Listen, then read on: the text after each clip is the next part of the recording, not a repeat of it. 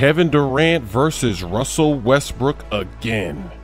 And this is the first time that the Warriors have lost four games in a row with Steve Kerr as the head coach.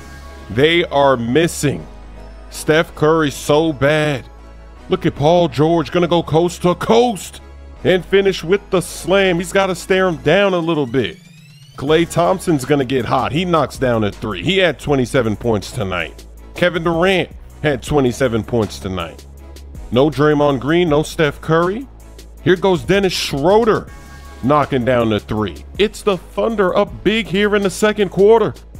Durant gets blocked, and look at that pass. Paul George reverse slam. Was it a pass or did he get stripped? Russell Westbrook had just 11 points tonight, but he did have 13 assists and 11 rebounds. So he had a triple double against the Golden State Warriors in the second half. Thunder still up big. Durant trying to fight back. He's trying to claw his team back. He's trying to backpack. He went to the Warriors so he wouldn't have to backpack, but that's what he's had to do this season. Klay knocks down a deep three, and all of a sudden it's a three point game.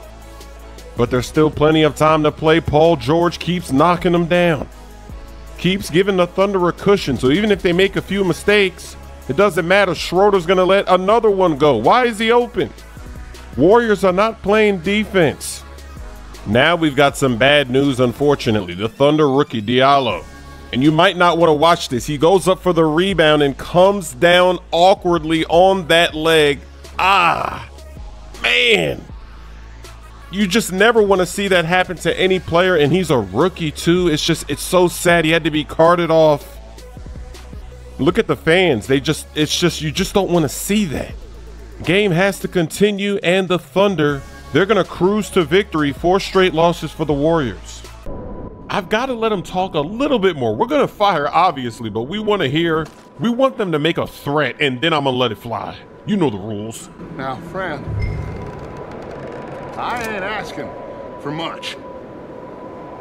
Please, I am kind of desperate.